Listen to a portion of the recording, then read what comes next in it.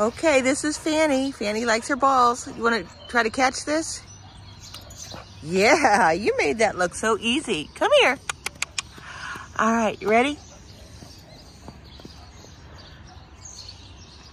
See, now it's like, which one do I get? Come here.